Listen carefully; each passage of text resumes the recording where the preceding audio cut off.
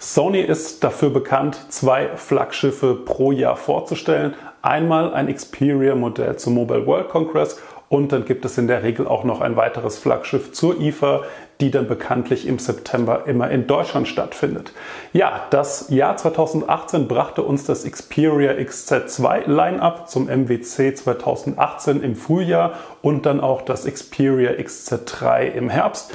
Das Xperia XZ3 kam alleine, sprich nur in einer großen Version. Das XZ2 Line-up gab es jedoch als normales Modell, als Compact-Modell und auch noch als Premium-Modell.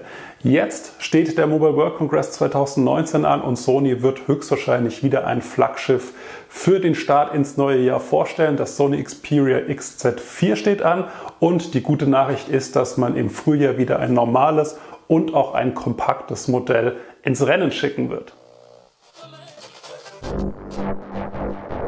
Und weil der Mobile World Congress schon in etwas mehr als einem Monat stattfinden wird, gibt es bereits zahlreiche Leaks und Gerüchte zum Sony Xperia XZ4 und ich möchte euch in diesem Video mal ganz kurz erzählen, was euch dann in etwa bei diesem Flaggschiff erwarten wird, sprich wie die Spezifikationen lauten werden. Und zwar werden wir höchstwahrscheinlich über ein 6,5 Zoll großes OLED-Display sprechen mit einem 21 zu 9 Seitenverhältnis. Das ist neu.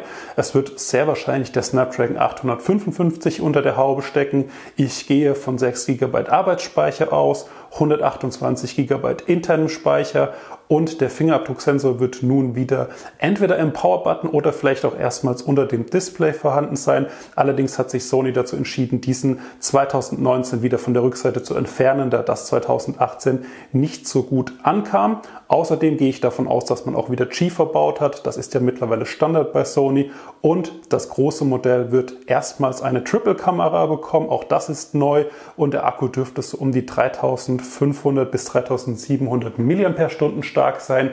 Außerdem gehe ich natürlich davon aus, dass das XZ4 mit Android 9 Pie ausgeliefert wird. Passend zum Xperia XZ4 wird es auch ein Xperia XZ4 Compact geben. Das ist natürlich aufgrund der physischen Bedingungen mit einem kleineren Display und kleineren Akku ausgestattet. Das ist soweit aber normal. Aktuell ist hier von knapp 5 Zoll die Rede für das Xperia XZ4 Compact. Wie groß es genau sein wird, kann ich euch aber nicht sagen. Ihr seht hier auch immer wieder Renderbilder von den Geräten und die stammen von einer sehr guten Quelle und ich gehe davon aus, dass die finalen Geräte dann auch in etwa so aussehen werden. Außerdem sieht man darauf sehr gut, dass das Compact-Modell leider nur eine Kamera bekommt. Sprich, Sony wird höchstwahrscheinlich die Power unter der Haube gleich oder sehr ähnlich halten. Allerdings fängt man auch hier an, optisch und bei, dem, bei der Ausstattung größere Unterschiede zwischen dem normalen und dem kompakten Modell zu machen. Beim Preis würde ich entweder davon ausgehen, dass man erneut bei dem Preis von letztem Jahr vom XT2 bleibt und 799 Euro UVP ausruft. Vielleicht wird man den Preis auch ein kleines bisschen erhöhen. Auch das würde ich nicht ausschließen.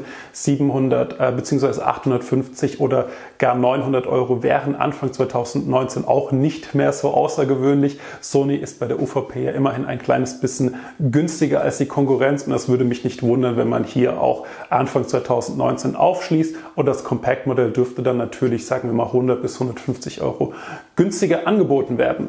Ja, die Präsentation, davon gehe ich sehr stark aus, wird wie immer rund um den Mobile World Congress. Ich gehe sogar davon aus, auf dem Mobile World Congress auf eine Pressekonferenz direkt vor Ort in Barcelona stattfinden und Marktstadt dürfte dann entweder äh, im März oder April sein. Ich, Sony hat sich bei den Zeiten ein bisschen verbessert, sprich Modelle brauchen nicht mehr ganz so lange, bis sie auf den Markt kommen. Wie schnell das jetzt beim XZ4 passieren wird, kann ich allerdings schwer abschätzen. Was auch schwer zu sagen ist, ist, ob es in diesem Jahr auch noch ein Premium-Modell mit diesem bekannten 4K-Display etwas später geben wird. Ich finde, diese Modelle sind aber auch eher Nischenmodelle. Von daher werden die jetzt für uns auch keine große Rolle spielen. Ich persönlich bin jedenfalls sehr gespannt auf das Xperia XZ4 Line-Up, vor allem auch auf das normale Xperia XZ4 mit diesem 21 zu 9 Display, was ja durchaus recht lang werden könnte. Ähm, Sony hat sich im letzten Jahr gemacht. Ich fand, sie haben durchaus Fortschritt von Gerät zu Gerät gezeigt. Sie sind, finde ich, ein bisschen langsamer als die Konkurrenz, was den Fortschritt angeht. Sie bringen nicht ähm, Jahr für Jahr immer große Sprünge, sondern verbessern dieses Xperia Lineup so ganz langsam und kontinuierlich.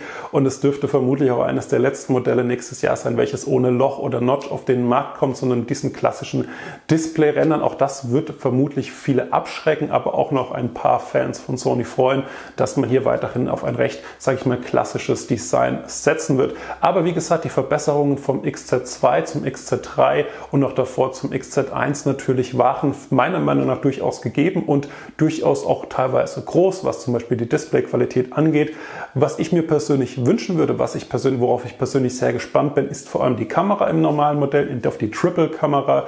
Das war für mich immer so ein bisschen die Schwäche der Sony Smartphones, obwohl man ja ironischerweise die Kamerasensoren baut und auch an die Konkurrenz von Google, ähm, Apple und Co. verkauft.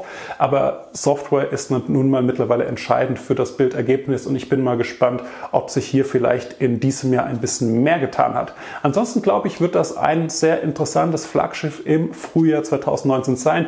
Wir werden euch natürlich zu diesem Gerät versorgen. Wir werden natürlich darüber berichten, es auspacken und euch dann erzählen, was es im Alltag kann. Falls euch das interessiert, bleibt dran. Ich bedanke mich an dieser Stelle fürs Zuschauen und sage bis zum nächsten Video.